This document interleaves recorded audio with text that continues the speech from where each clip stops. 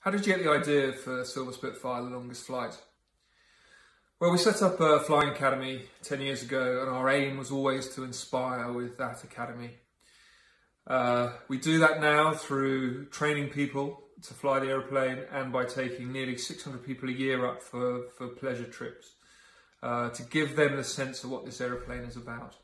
As a result of that business, uh, we were given the opportunity to buy this very, very special uh, airframe, one that hadn't been touched because it had been a museum for so many years, and one that had incredible wartime history. And uh, so we, we, we bought it, uh, knowing that we wanted to restore it, but then wanted to inspire with it in the way we had with the other aircraft we had in the academy, and thought, well, why don't we do something? Why don't we take this aeroplane back to so many of those other countries where it fought on behalf of of them and their freedom? Um, places that won't have seen it for many, many years, many decades.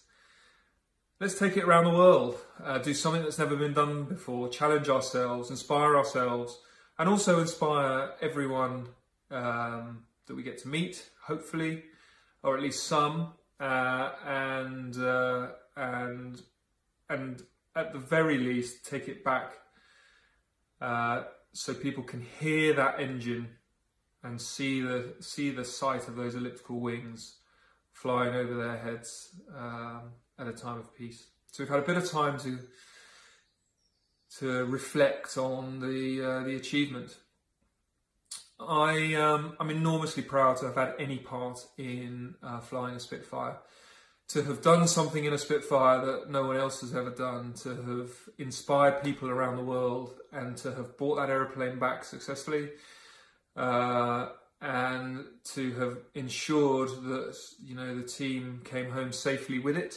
Uh, I'm enormously proud of too. Uh, I've, I've, been very lucky to have some very, very amazing moments in my flying career, but um, I don't think any of them will uh, will top this achievement. Um, it was hard.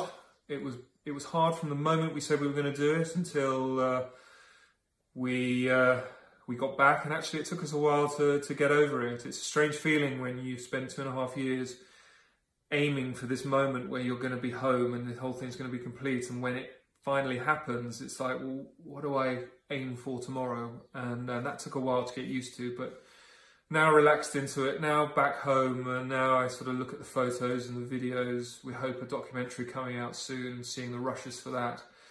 And it just refreshes our memory on uh, on how it felt at the time, the spectacular views we saw, the wonderful people we met, um, and the achievement that we made. And um, yeah, I'm, i I, kind of grow more proud uh, by the day of it as I as I realise uh, exactly what we've done. The most difficult challenge on the way was uh, certainly the weather. We were flying this aeroplane um, in visual rules only. So, unlike a modern airliner, we can fly in cloud, fly the whole trip in cloud, come down and approach in cloud, see the runway at the last minute, land we had to be able to see the ground the entire time we were flying, or at least see be able to see parts of it and be in clear air where we could see a long way ahead. Um, we were travelling, you know, between 400 and 600 miles on each leg. If you think the UK is four or 500 miles from top to toe, and the amount of different weather systems you see in that uh, in that um, distance, it gives you a sense of uh, what doing that around the world might be like. Additional to that, if you're flying in Europe, there's all sorts of apps and weather information that you can use to build a mental picture of what the weather's doing and to make decisions based on that. And uh, for at least a third of the entire trip, we didn't have anything like that. No idea what was going on. It was just a case of looking at very rudimentary weather charts and trying to work out what sort of weather would be associated with those systems and we didn't get it right every time. You know, we, we were right from the outset. We said we won't take any risks, but it's amazing when you have this momentum behind you and wanting to go and get to the next point. How the the um, the margins can become reduced and compressed a little bit. for the most part, it was very safe, um, but we made a few errors, as I said, and um, uh, yeah, one day in particular, we had to turn back immediately after takeoff on, on leaving Iqaluit in uh, northeastern Canada. Uh, we thought we had a gap to get out. It closed in pretty much as soon as we were um, airborne, and we were back on the ground within five minutes. But in those five minutes, we'd been pushed very, very close to the sea and to some uh, some hills and mountains that were, were near the airfield itself. So uh, we resolved that day not to be pushed into that position again, uh, and pretty much uh, we weren't. So weather around the world was a big challenge. Most of the other challenge we faced while we were flying, uh, um, uh, while we were away, we'd, we'd hopefully solve before we left, such as the right kind of fuel. That you know, it's very difficult to get avgas for the Spitfire in many of the countries we went to, but that was all sorted months before we left. So, and we were lucky uh, that pretty much everywhere we went, the fuel was there when we got there. The worst we had was a wait of, uh, of just one day um, for fuel to arrive, which in the grand scheme of things was was superb. So yeah, whether I mean any to any pilots out there that uh, think about doing anything like this, first of all, incredible. I mean, what a way to see the world! But I would uh, think very carefully before before doing it uh, VFR or using visual rules. You need to have some instrument capability. Well, there are moments when uh, I thought we wouldn't make it? I think we took each leg of the trip at a time. You know, we didn't think about the, the, the or we tried not to think about the great goal of getting the aeroplane back because uh, that would put too much pressure. We just wanted to make the right decisions for the day that we were going. So to say um, I thought we'd never make it, I guess we weren't really considering that. We were just trying to see every day how far we could get. However, there was one occasion um, when, in the aircraft itself in Russia, when we hadn't made the, a brilliant weather call, it was it turned out to be the right call, but at the time we were worried.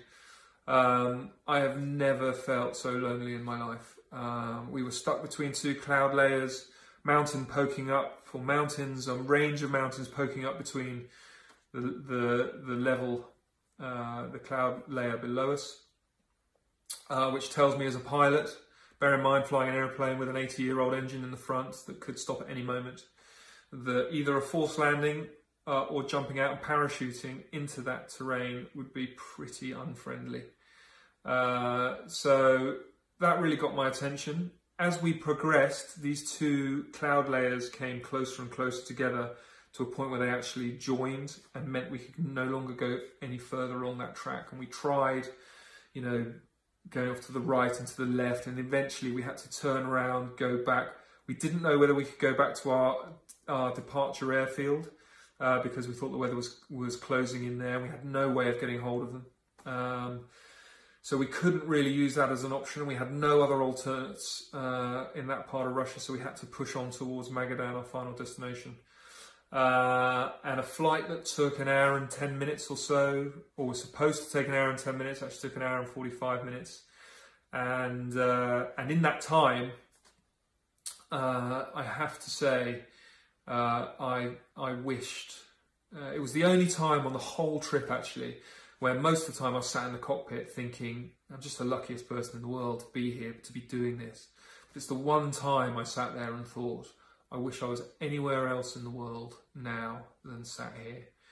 Because it felt lonely and because we were running out of options and we were running out of ideas and uh, and and that's not a great feeling in an aeroplane where you have to keep forward motion, you have to just keep going. But it worked out, and um, uh, by one of the mountains we saw a clearing in the lee side. Both aeroplanes able to dive through and, and come out underneath and uh, and once we were underneath, we could see the final 25 miles to uh, to the airfield we were landing at. And never has a beer tasted better than it did that night in Magadan.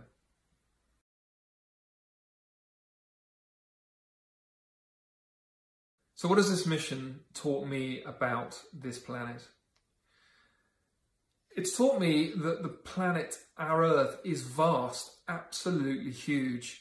Um, you know, we flew over or very close to some significantly built up areas um, in the world, uh, in in India, in the US, in Canada, um, and in Europe, of course. But what really amazed me was the huge swathes of the planet where there were just no people at all, and in some places, not even a sign. So the longest trip we did, the longest flight was from uh, Kuwait to Jordan. There was one road that flew that, that, followed us pretty much the whole way along our, our trip on the um, on the Saudi Iraq border, but otherwise virtually no sign of habitation. In Russia, uh, we'd fly five six hundred miles an hour from one place with 500 people to another place with 1,000 people, and there would be nothing in between. No scars on the land, no, no sign of anything touched by humans. Um, so it really made me think about all the news we get about, you know, how overpopulated the planet is. And that's because, as humans, we tend to want to live together. Um, but there is a lot of space out there still. Uh, it's incredibly important that we continue uh, to manage the effect that we have on the planet, but there is a lot of space left uh, uh, still out there.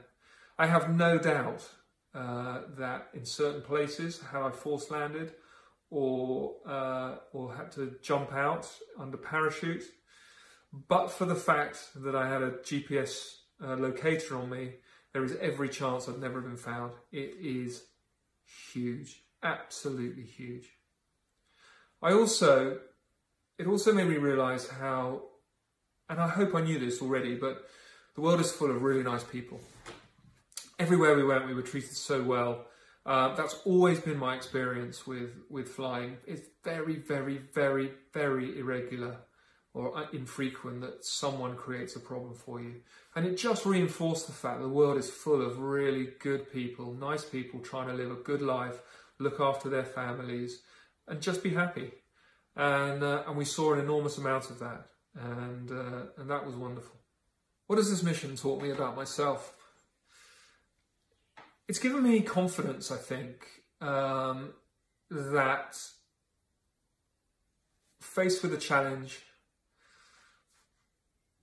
faced with the right people around me, um, I can conquer that challenge it's down to effort, certainly. In most cases, an enormous amount of. Um, and just trying to think around problems and trying to work with people to create uh, solutions.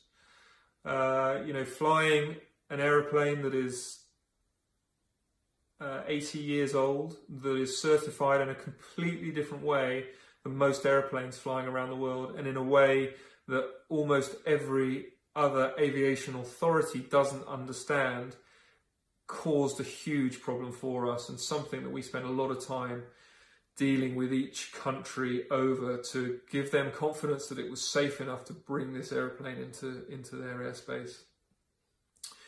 Um, there were an enormous number of challenges, as you can imagine. Um, but from a personal point of view, I'm really happy that we overcame them. We overcame them safely and that we brought the entire team home uh, and the aircraft home all in one piece for other people to enjoy. Are there life learnings you can take away from this adventure? There are life learnings I can take away from this adventure, and the biggest one for me um, was a was a real shock. I was in the middle of Russia, on the eastern coast of Russia, um, and my girlfriend was expecting our first child. And I got a very, very uh, emotional call from her saying that there was a significant problem um, with uh, with the baby, and that she was on her way to hospital. And I have never felt so lonely in my life. Uh, and I made it home in 36 hours. Uh,